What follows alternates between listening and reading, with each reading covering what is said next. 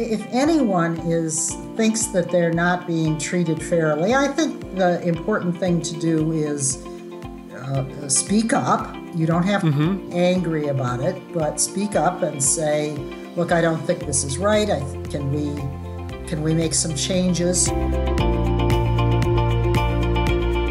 Hi, I'm Dr. Jed Macosko at academicinfluence.com and uh, University of, of Wake Forest University in Winston-Salem. We have another wonderful guest here today. It is Professor Theda Skocpol. Uh, Theda Skocpol is, is uh, one of our illustrious influencers on our website, and she has made some time to be with us today to tell all of us how she got her start in her career.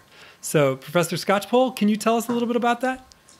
Okay, well, at this point, I'm a professor of political science and sociology at Harvard University. But of course, I started out a long time ago uh, as a student in Michigan, growing up in the state of Michigan. Um, my grandparents on both sides were farmers, like lots of people in the United States, and my uh, parents were teachers. And, um, you know, when I was in uh, elementary school and high school in Wyandotte, Michigan, which is right down at the bottom of the, of the, of the thumb down here, um, I, uh, I was known as a smart kid, and that wasn't necessarily such a good thing for a girl 50 years ago. Um, mm. I wasn't all that popular except when people wanted to copy my Latin homework, and then I was oh. very popular.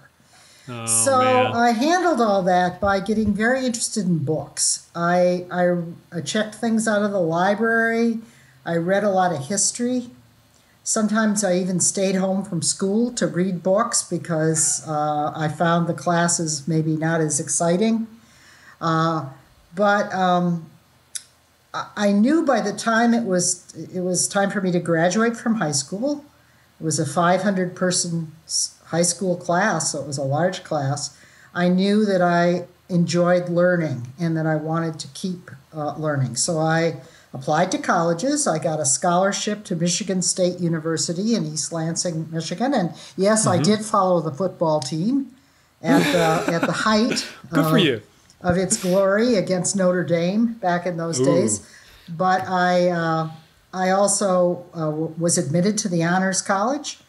And oh. uh, the nice thing about that was that Michigan State was 40,000 students on one campus, but the honors college was much smaller, and you got okay. a chance to take classes with professors. In my case, I chose the social sciences, but I also did things in French literature and um, as well as anthropology, sociology, political science, mm-hmm. um, all kinds of classes. But most of my classes were small because I was in the uh, honors program.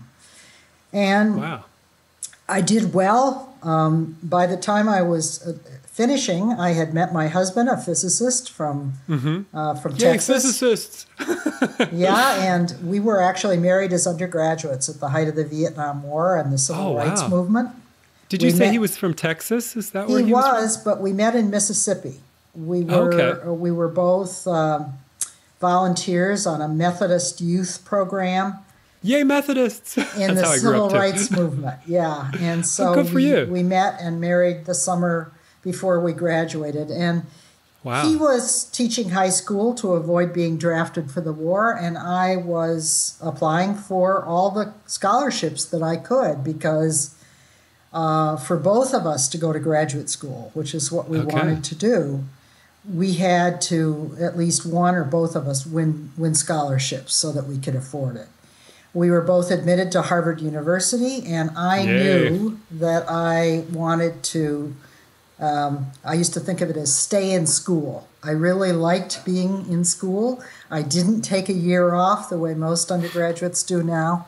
I just went directly to Harvard University where I was uh, in the sociology department. Oh, and, so you started off in a sociology PhD program. I did. And, you know, I had already studied a lot of history as an undergraduate and, and, mm-hmm. and political science, and I was in a program where you didn't have to specialize. So oh, for me, sociology was attractive because it kept all my options open. I wasn't necessarily yeah. rejecting any other way of understanding um, society and politics.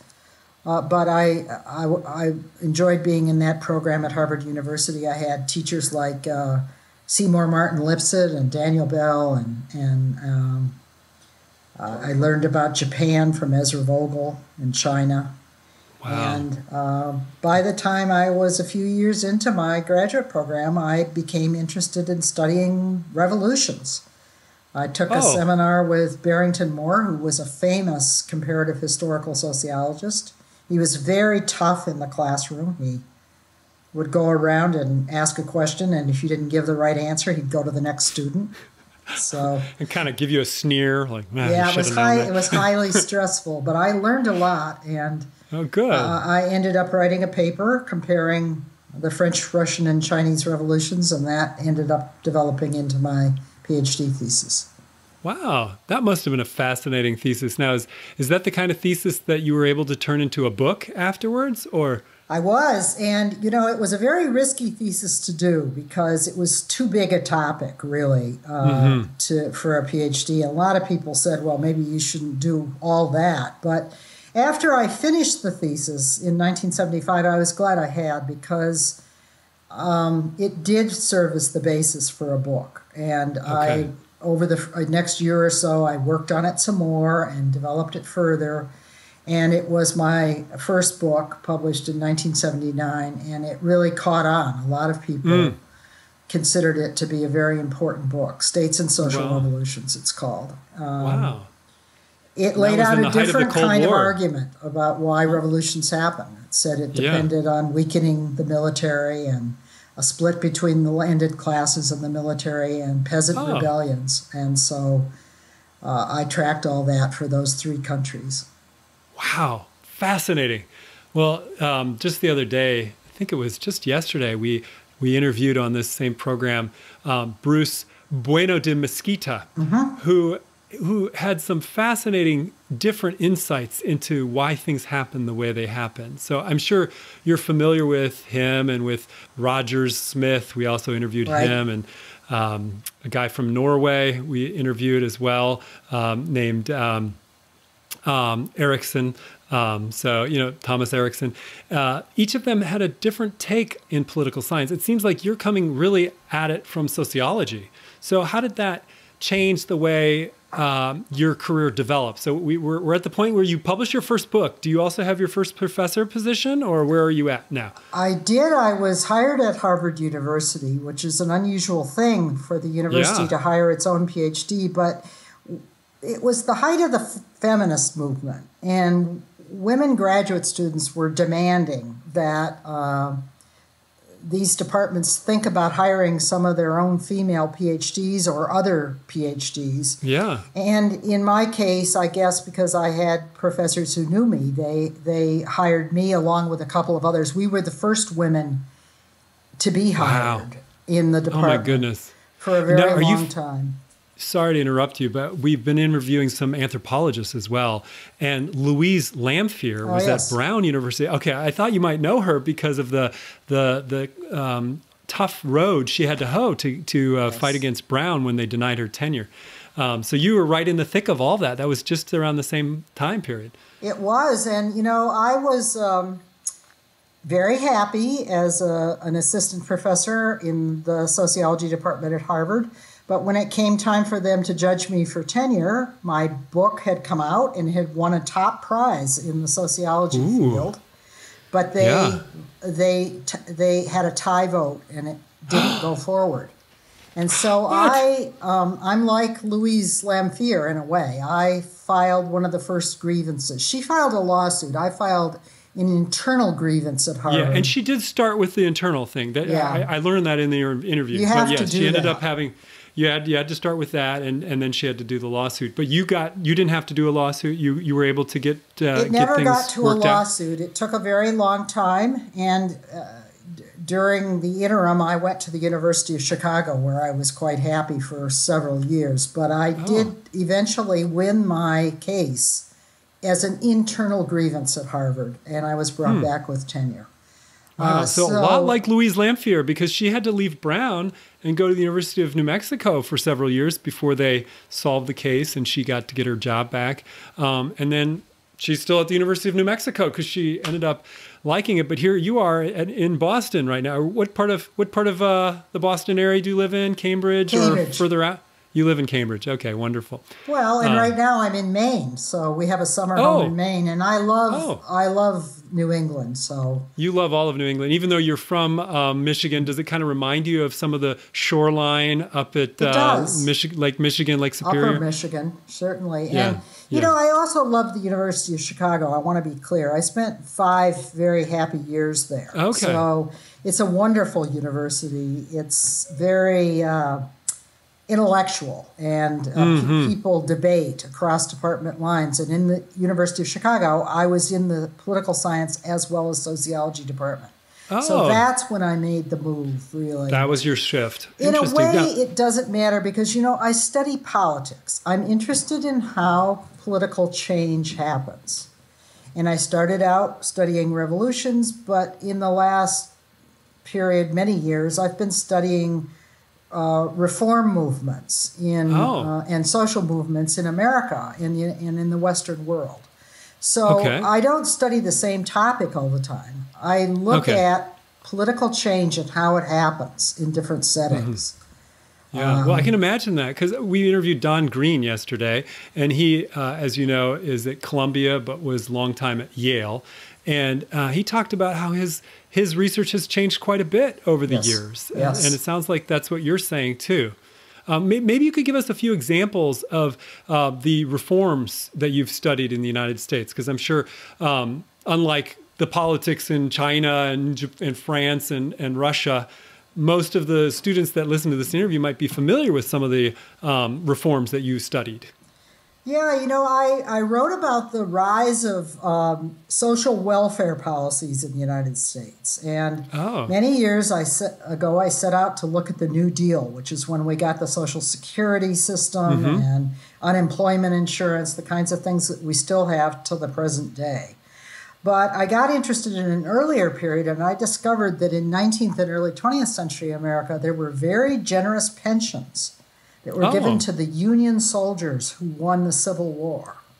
Oh. They didn't oh. go to the Southern soldiers, they went to the Northern soldiers. Okay. But they were so generous that by the early 20th century, they were like old age pensions and disability payments. And at that oh. point, the former Confederate states created their own systems, but they were not as generous because the Confederate states were much poorer at that time. So yes. uh, that book became called Protecting Soldiers and Mothers. I discovered in that work uh, that the first big social policies in the United States were for veteran soldiers. And then in the early 20th century, there were women's movements that created programs for mothers and children. From mothers the government? pensions, they were called. Interesting. Wow. And so I really discovered a whole new trajectory for American social programs and realized that they didn't just start with the New Deal. Uh-huh. Uh, more recently, I've studied healthcare policy. So I've studied, wow. I wrote a book about the rise and fall of the Clinton health plan back in the 1990s mm-hmm. and a book about mm-hmm. Obamacare, about mm, how, how it passed. Books. Yes, how mm-hmm. it passed and and what the obstacles have been to carrying it out fully because of course it's still controversial in America. Very con- it's going to be coming up in this election whether you it know it comes up in every election. yes. Unfortunately. Yeah. So you have the book on it. So we should read that book, huh? Yeah. Yeah. well, you you are truly one of the most influential political scientists and it's no surprise that you just love what you do. I, I'm not surprised to find out that from when you were young you just loved learning, you loved that process. And it sounds like you love Harvard, you love the New, New England area, the students at Harvard. Um, so that yes. must be really rewarding to get fact, to be the there again. The most interesting recent thing that happened is that uh, my students and I are working on American politics now. And I wrote mm-hmm. a book about the Tea Party where I went out and actually talked face to face with Tea Party people. Uh, mm-hmm. and then more recently, some of my undergraduate students, I think your listeners might be, find this interesting, they wrote senior theses by going back to their home states. One of them lives comes from North Carolina, and she mm-hmm, wrote about yeah. changes in the Republican Party in North Carolina. And another one went to Michigan and asked why Trump won Michigan, which was a surprise. Wow. And another one went to Florida, and mm-hmm. others went to Texas. And we put it all together in a book where I have a number of chapters that I wrote. And um, my students, including my undergraduate students, uh, adapted their prize winning senior theses to be chapters in the book. Wow, so they actually got to write a book. Students, and I love it when the students get interested in doing research of their own. Wow.